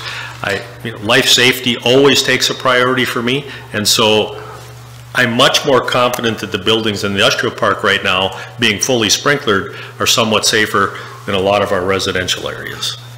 And I think you probably get my other question, because what is more important uh, in your mission, fire suppression or some of the life safety issues? Because I see a lot of your calls are not for fire calls. Exactly. The priority of our mission is fire, definitely, because nobody else does that, right? We have Altru Ambulance provides uh, ALS support. However, our strategic location of our buildings allows to get to many of those medical calls before the ambulance does. That's one of the main reasons we. I think typically you do. I would, Yeah. I would guess that you do, but, um, But to, to make your point, nobody else does fire, nobody else does hazardous materials, nobody else does technical rescue, but the fire department. So those ours are priority, but yet the community need is a lot of the EMS side. what do you see about the future residential sprinkler systems? I am 100% in support of them, but I can tell you that if you go out to the state, there's a lot of building associations that are not in support of them. Isn't, aren't they currently required in Minnesota if you build a home over 5,000 square feet? There is a stipulation in Minnesota where they are required. I don't remember the exact square footage. And so at some Minnesota point, the state their of, yes, at some point, the state of North Dakota will probably follow Minnesota, which they seemingly always do. We've fought that fight out there, and it gets ugly pretty fast. Hmm. It certainly adds to the cost of new construction. It's about a buck and a half a square foot. Hmm. Yep, it is. Any, uh, any other questions for the chief? Mr. Uh, just a couple quick things. Uh, Chief Lorenz, I think you and I talked about this a little while ago or a couple weeks ago after a meeting. Um, I've always said that the northwest corner of Grand Forks uh, has some issues when it comes to response because of the railroad tracks and the blockages that occur. Um, based on your experience, what's the difference between a fire that's lasting four minutes and a, a fire that's lasting over five minutes in response time? There's a lot of variables in that too. It depends on where the fire started and what type of fuel load is there. Um, But one minute is pretty significant in some cases, particularly if it's on the outside of the house and you've got combustible siding that goes up to the soffits. Um, They can spread really quickly. Um, And back to the four-minute thing and, and why the four-minute mark, there's actually several factors, but two of the most common that they use for that argument is one, when a fire reaches flashover, a, a, a confined fire in a, inside a building, and the second is when brain death begins to occur following cardiac arrest and lack of oxygen to the brain. And so that four-minute drive time is determined to get responders to the scene in that amount of time to prevent both of those things from happening. So one minute in some cases can be substantial, and in other cases, not as substantial. I know that doesn't answer your question directly, but it, but it is kind of a broad Absolutely, statement. But I can tell you from a life safety perspective, and getting somebody out of a fire, one minute is a lifetime. Perfect. And, and I would agree with you. I think something needs to be done to better serve um, the northwest corner of Grand Forks. Um, I think we've talked, I think Mr. Brooks talked about development on the northwest corner of Grand Forks as a potential as well. Um, so something obviously needs to be done there. Um, I'm glad that, that this is being looked at and hopefully um, we have some solutions pretty quickly to it. Thank you, Mr. Weigel. Um, Mr. Weber, yes, sir? Yes, please. Uh, Chief Lorenz, uh, I had come in and, and talked to you, and you had given me this presentation earlier. Um, I'm expecting that uh, while we're not passing a motion tonight or necessarily voting, uh, Mr. Feland, Ms. Storstad would be looking for a green light to move forward with those action steps. Is, is that correct? And then I've, I've got another comment. Council President Sande and Councilmember Weber, yeah, just kind of get your feedback. Obviously, budget season is- is coming, and one of the first out things are, are really the land and also the construction. And I think it's important to note that we're really reassigning firefighters to different locations, and so this specific, specifics um, action would not require additional people. We're just trying to reallocate the people to better locations and trying to do it in a long-term way so that we don't miss really good opportunities um, And so as part of the budget discussion, I think that we wanted to get your feedback as part of the mayor's budget. Right, it's worth noting uh, that uh, moving a fire station is not the same ex- expense as uh, building a new one. In fact, primarily because of the, uh, the human resource aspect that you've just mentioned. Uh, So I would, uh, I for one, would uh, be in support, offering a green light to move forward with uh, uh, the, the the recommendations by Chief Lorenz and looking into that and bringing back more information. In addition to that, the reason that I came out and spoke with you that day, Chief, was about fire protection for the proposed Fufeng plant. Um, And uh, you did mention it during your uh, presentation, but fairly briefly, uh, to summarize quickly, there is currently uh, adequate uh, single vehicle support for that entire area with our, our current infrastructure. Um, and the uh, proposed changes would bolster that with the, the second vehicle response.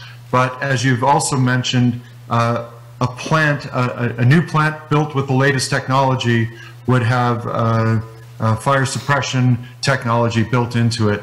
Uh, So that would, uh, th- that's an important part of the equation as well. But essentially, at this point, if the plant goes forward, we are able to offer uh, the, the support needed out there. Is that right? That is correct. Um, I pulled up the map here again for a single unit response. You can see that it's within our four-minute predicted drive time, and that the tertiary response by relocating Station Four does get that second unit, and then, of course, Station One would get there at approximately the same time t- for assistance. Um, But you're also correct, that the single biggest thing we can do with those northern developments is ensure that they're built to the most current codes. And uh, not, not to dwell on it, but the, uh, the development agreement with Fufeng, uh, we're looking at 20 different areas of, of concern, uh, doing our due diligence. One of those areas was uh, safety and fire. So uh, thanks, thanks for the presentation. Thank you. Thank you. Any other comments? Um, Chief, have you looked, we, we currently own about 20 acres of land just across the street from where you're talking about on uh, 42nd? Yep, and we picked this spot, um, Ryan and I did some brief conversations just because of the proximity, but uh, I think looking at anything that the city currently owns is certainly, Hmm. should be done.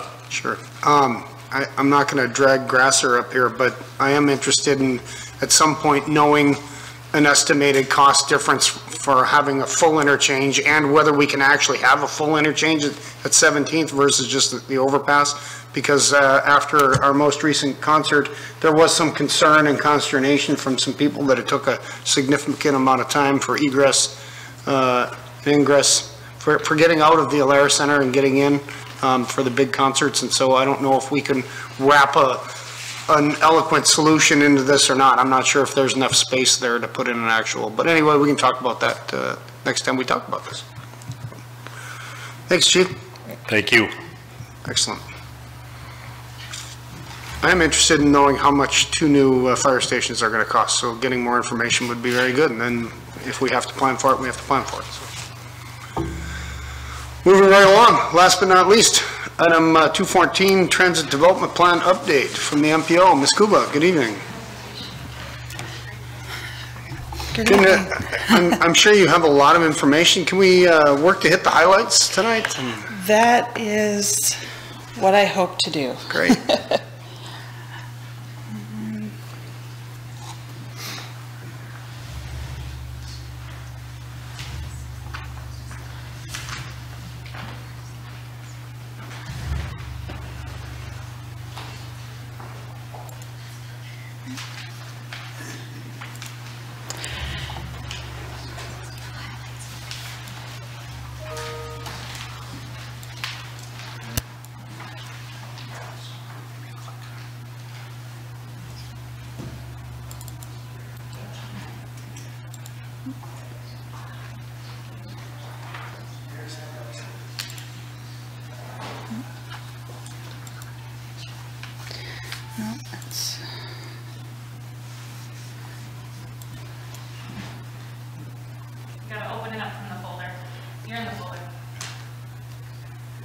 did open in the folder.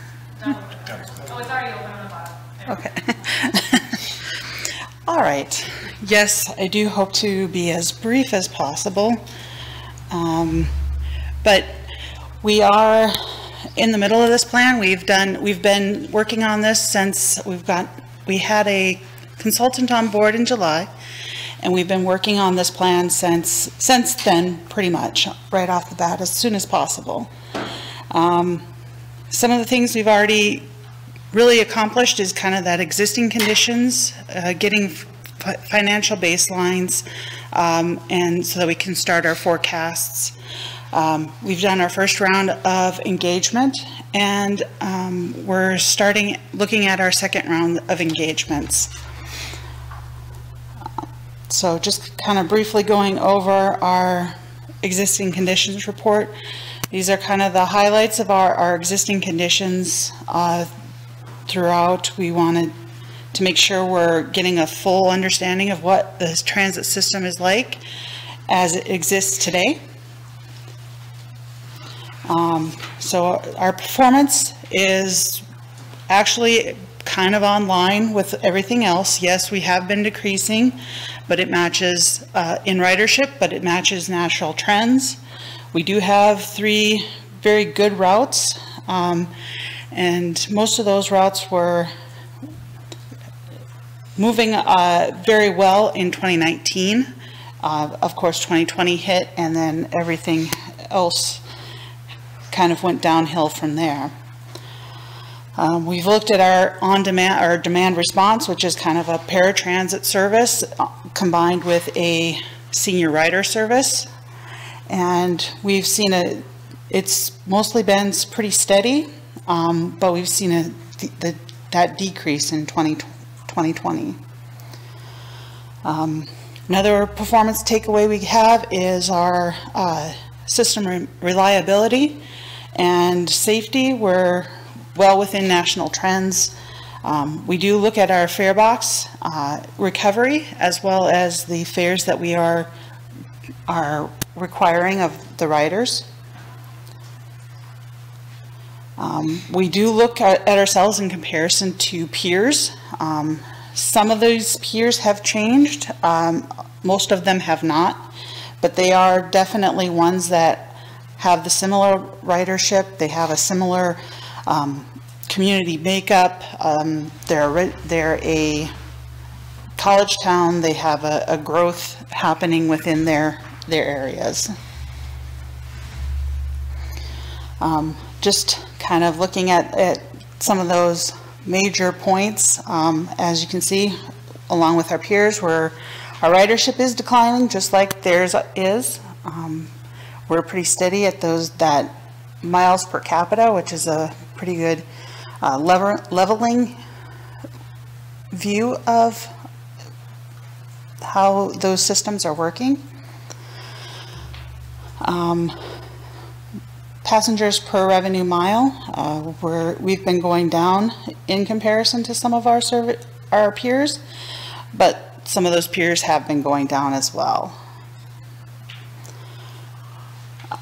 Then we're looking at costs per trip, and that we've, we've uh, looked at some increases in costs, but uh, overall, especially kind of in that 2019 period, we've, we've seen our peers do the very same thing. Um, Fare box, we've seen that decrease as well as our peers. And when we were looking at that fare comparison, we, in previous times, we've, plans, we've looked at just that, that uh, single ride, put it, in- put your dollar fifty in, or if you're uh, K through 12, 12, or you have a, a access to a reserve, a reduced fare. But we are noticing that increase in usage of multiple ride passes and multiple day passes um, that is being used. So we, we really needed to look and see how our peers are comparing to that as well.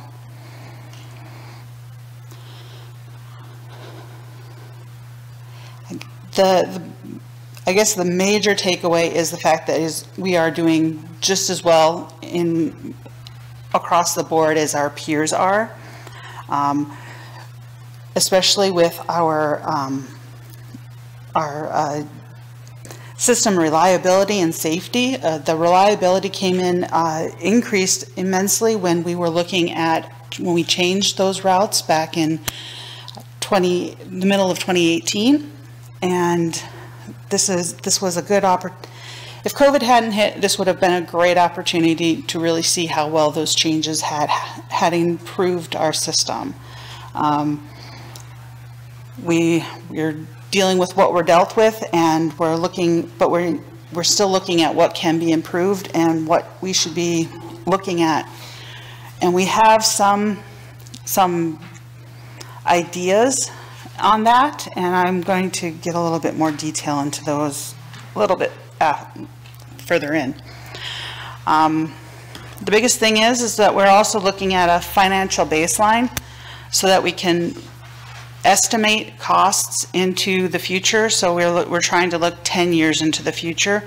We know we will only have a solid five years of, of true what's going to happen, but we do want to be able to look a little further in the future to make a few more plans that might influence some current decisions. We do have remaining funds from the various COVID uh, bills that have funneled money towards transit and other uh, infrastructure. And we are still looking for kind of that idea of where,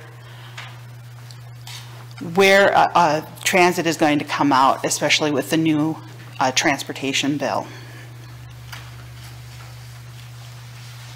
Just kind of a, a baseline financial, the costs of the providing transit service, that would be everything from our fixed route to our uh, dial-a-ride and senior rider service.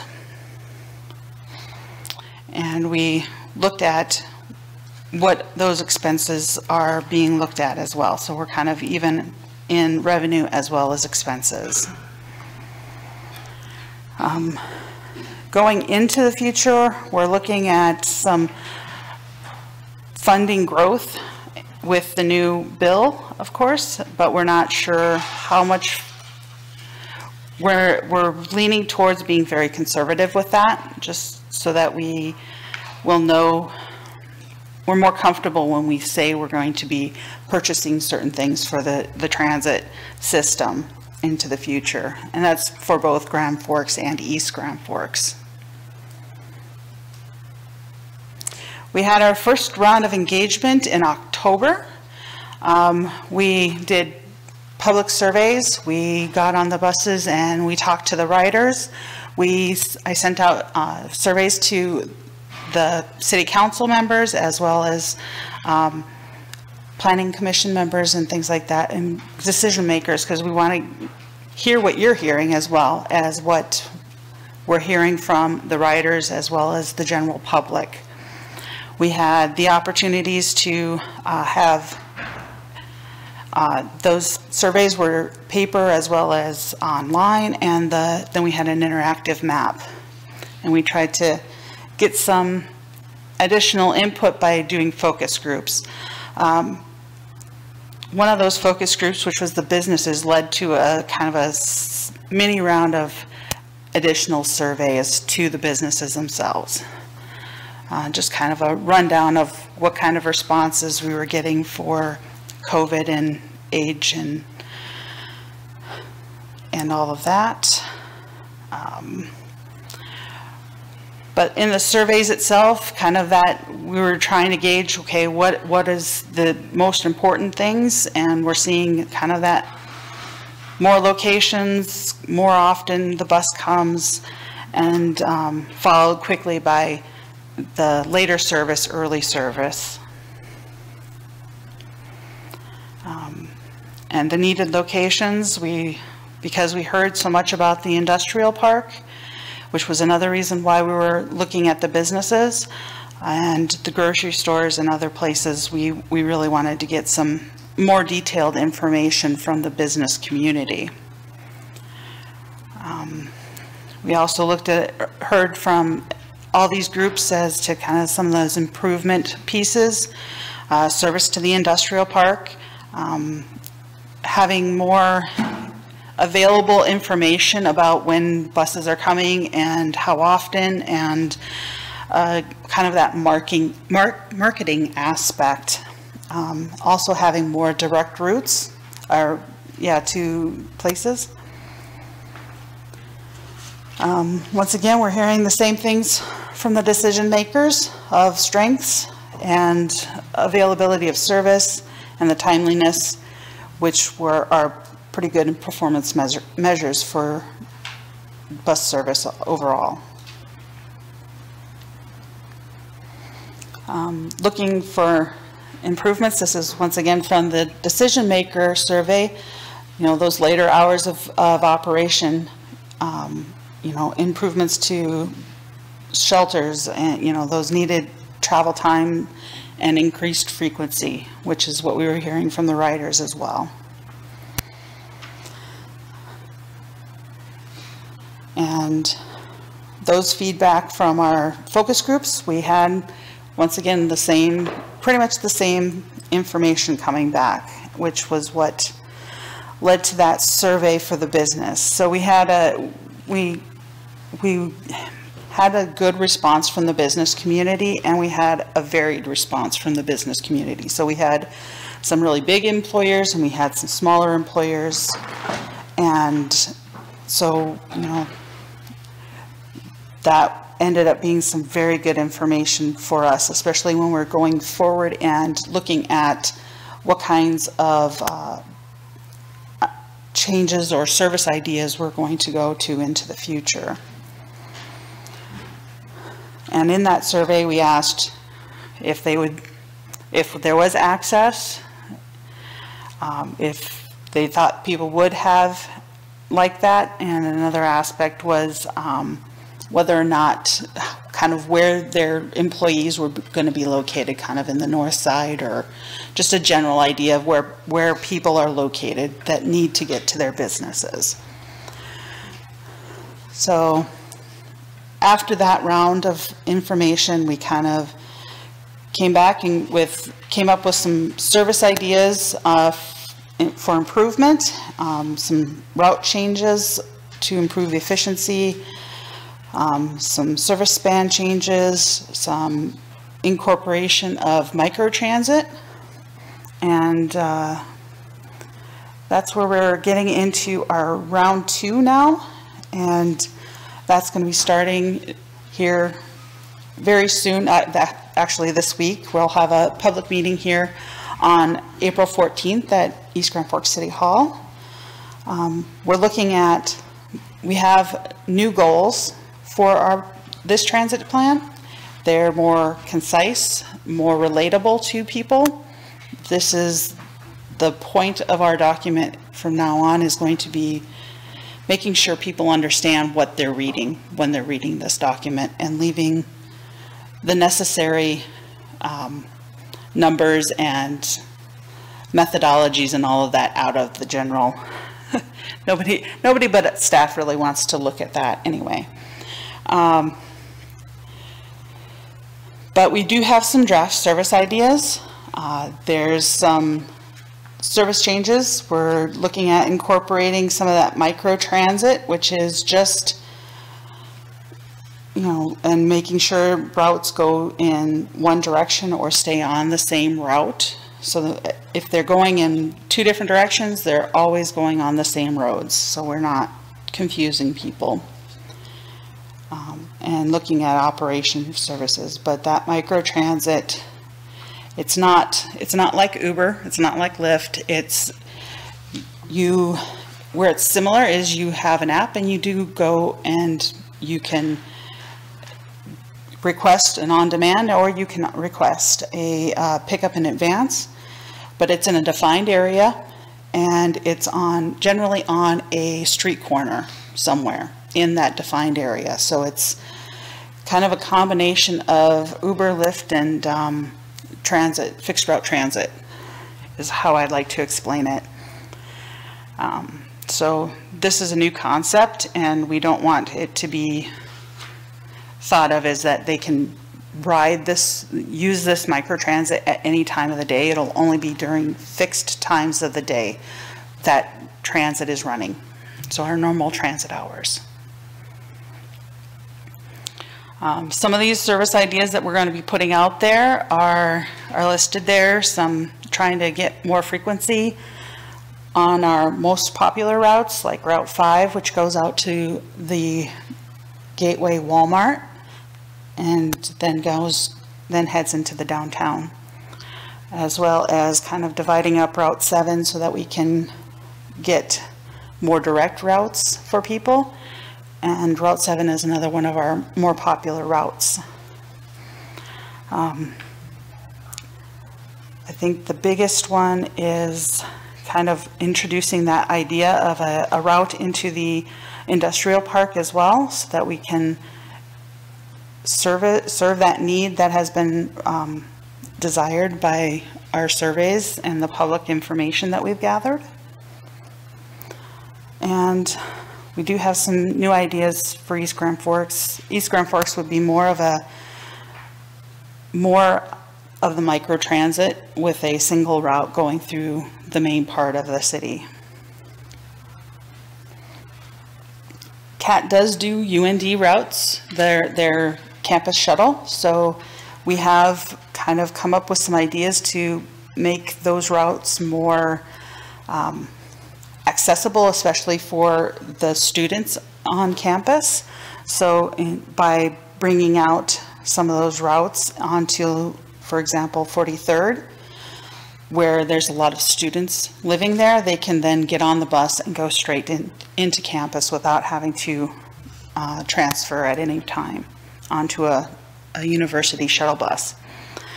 Um, Just making sure we're not overrunning some of those routes and, and getting to most of that, those other areas. But the biggest thing would be introducing that microtransit on campus at night, which would help um, with, might help the actual university police where the, those, that microtransit will get closer to where those students are located on campus to get them to various uh, locations on campus, like their parking lots. Um, Once again, we have uh, our first info session about all of these possible changes, or possible service changes is on April 14th. Um, We're keeping an eye on the storm, of course, but we are planning on- it being online as well, so we shouldn't have too much trouble with that.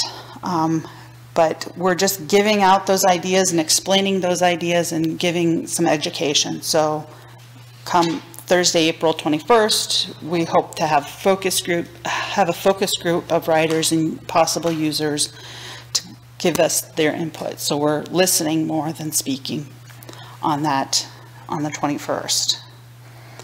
Um, Other than that, we are, hopefully we'll have a little bit more interaction with you guys now because we will have a lot more information uh, on the decision points coming up. We're kind of a little over halfway through and we'll be having, um, once we have these recommendations figured out, we should have, be moving quite quickly into a final or draft plan.